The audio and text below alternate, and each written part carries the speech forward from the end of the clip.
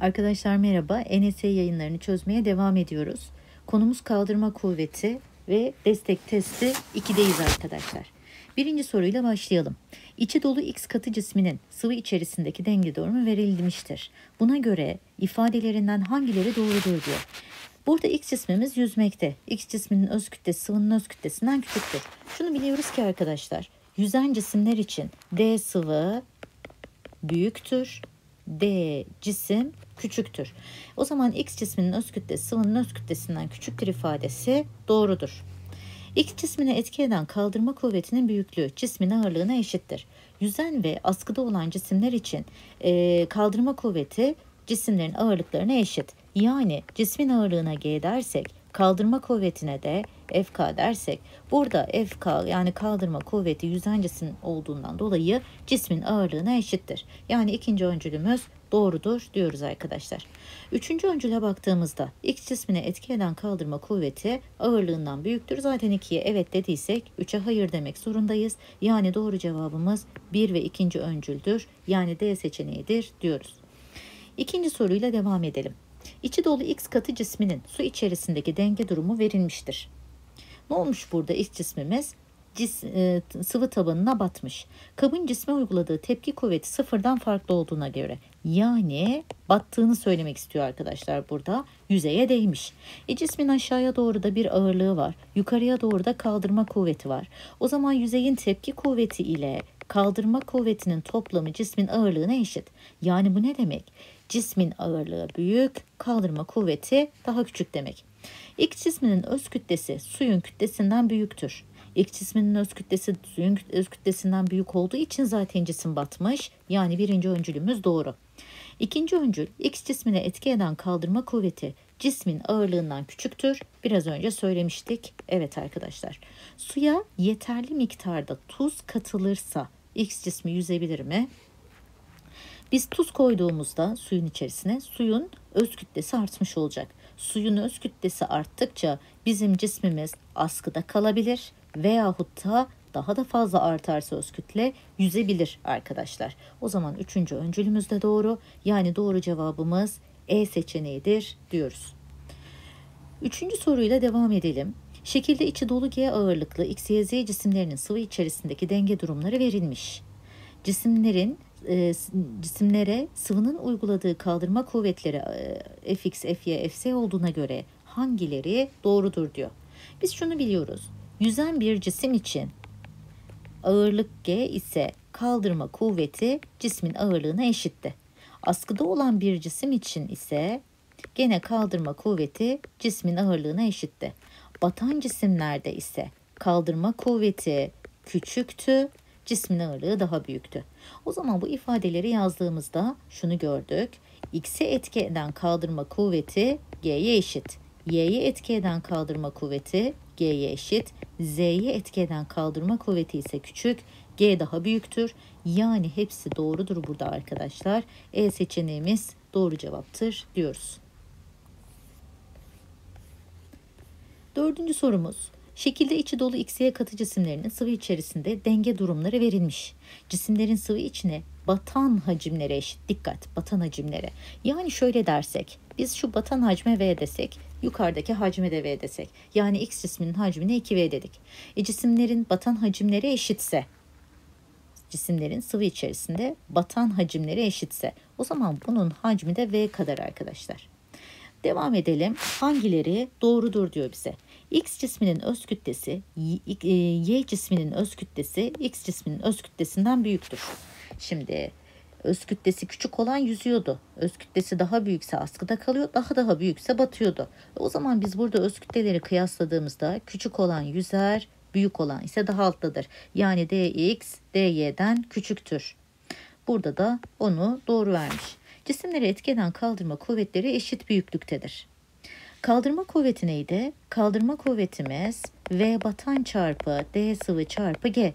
E burada batan hacimler eşit olduğuna göre kaldırma kuvvetleri de eşittir diyoruz. Üçüncü öncül X cismine sıvının uyguladığı kaldırma kuvveti Y cismine e, sıvının uyguladığı kaldırma kuvvetinden fazladır. 2'ye evet dersek 3'e hayır dememiz lazım zaten. 1 ve ikinci öncüller yani C seçeneği doğrudur dedik arkadaşlar. Beşinci sorumuz. Şekilde denizdeki bir geminin ve denizaltının denge durumları verilmiş. Gemi ve denizaltının ağırlıkları eşit olduğuna göre hatırlayalım. Cismin ağırlığı G, denizaltının ağırlığı G. Neydi? Yüzen ve askıda olan cisimler için kaldırma kuvveti cismin ağırlığına eşitti. O zaman buradaki kaldırma kuvveti de deniz altındaki kaldırma kuvveti de cismin ağırlığına eşit. Denizaltının öz kütlesi geminin öz kütlesinden büyüktür. Öz kütlesi büyük olan ne yapıyordu? Daha altta oluyordu. O zaman denizaltının öz kütlesi daha altta olduğu için daha büyüktür. Gemi ve denizaltına eşit büyüklükte kaldırma kuvvetleri etki eder. Nereden biliyoruz? Ağırlıkları eşit ve biri yüzmüş biri askıda kalmış. O zaman kaldırma kuvvetleri eşittir dedik arkadaşlar. Denizaltının hacmi geminin hacminden büyük müdür acaba? Bakalım denizaltı e, kaldırma kuvvetini nasıl buluyorduk? Kaldırma kuvveti V batan çarpı D sıvı çarpı G demiştik. Denizaltının batan hacmi yani tamamına V dersek geminin batan hacmine yani şu denizin içerisindeki şu kırmızıyla boyadığım yer orası V. Ama daha geminin üst kısmında da hacmi var. Yani dolayısıyla geminin hacmi daha büyük arkadaşlar. Denizaltının hacmi değil. Yani doğru cevabımız 1 ve 2 olan C seçeneğidir dedik. Altıncı soruyla devam. Şekilde içi dolu XY katı cisimlerinin sıvı içerisinde denge durumları verilmiş. Ne olmuş burada? X yüzmüş, Y askıda kalmış. Cisimlerin hacimleri eşit. Bakın bir önceki soru gibi batan hacimleri demiyor. Hacimleri eşit. Ne diyelim burada gene? Biz alt tarafa V, üst tarafa V diyelim. Hacimleri eşitse X cisminin hacmi 2V olduğu için Y cisminin hacmi de 2V olacak. Peki kaldırma kuvveti batan hacimle doğru orantılı mıydı? O zaman şöyle diyebilir miyim? X cismine etki eden kaldırma kuvveti V çarpı D çarpı G desek Y cismine etki eden kaldırma kuvveti için X diyelim 2V çarpı D çarpı G diyebilir miyiz? Evet.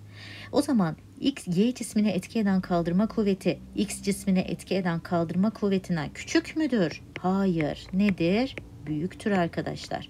O zaman birinci öncülümüz yanlış. Devam. Y cismi X'ten daha ağırdır. Bakalım yüzen cisimler için yüzen cisimler için ağırlık neye eşitti? Kaldırma kuvvetine eşitti.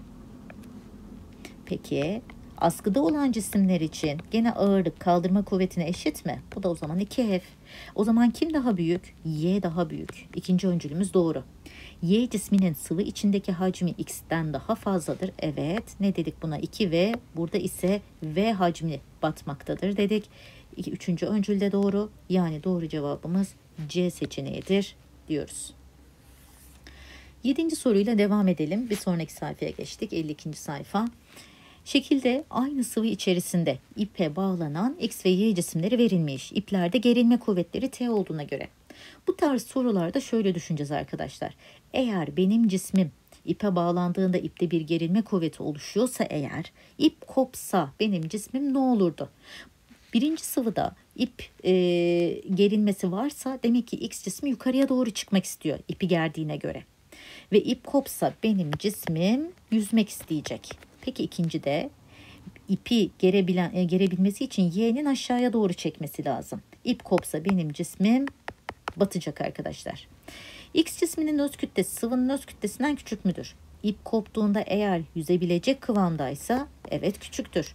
Y cisminin öz kütlesi sıvının öz kütlesinden büyük müdür? İp koptuğunda battığına göre arkadaşlar evet büyüktür. X cisminin bağlı olduğu ip kesilirse cisim dibe çöker diyor. Hayır dibe çökmez. Dibe çöken kimdi? Y idi. X ne yapar? Yüzer. O zaman üçüncü öncülümüz yanlış. Yani doğru cevabımız yedinci soruda C seçeneğidir diyoruz. Devam edelim. Sekizinci soru. İçi dolu katı X cisminin su içerisinde denge durumu şekildeki gibidir. Ne yapmış burada arkadaşlar? Yarı yarıya batmış. Eğer benim cismim ikiye bölünürse öz kütlesinde bir azalma meydana gelecek mi? Hayır. Hacmi ve kütlesi orantılı bir şekilde azalacağı için bizim öz kütlemiz değişmeyecek. E, öz kütle değişmediğine göre ben bu cismi ne kadar parçaya ayırırsam ayırayım ne olur hep yarı yarıya yüzmeye devam eder. E o zaman e, yarısı kesildiğinde gene 1'e 2 oran batacak. Yani A seçeneği gibi olacak bizim cismimiz. Dokuzuncu sorumuz. İçi dolu e, katı cismin su içerisinde denge durumu verilmiştir. Şimdi 1'e 2 oran batmış değil mi arkadaşlar?